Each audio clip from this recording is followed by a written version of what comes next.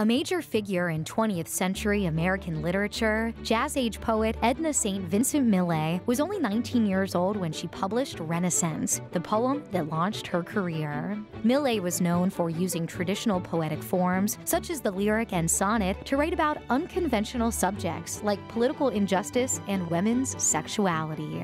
In 1923, she became the first woman to win the Pulitzer Prize for Poetry.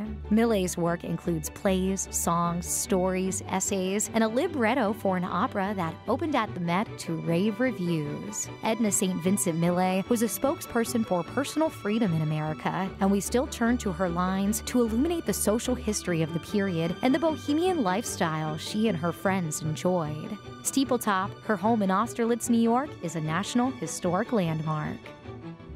Brought to you by Christofouli Brothers Plumbing and Heating, a women owned business serving the Capital District since 1939. And by Gottfried Financial, investment management and financial planning for women since 1995.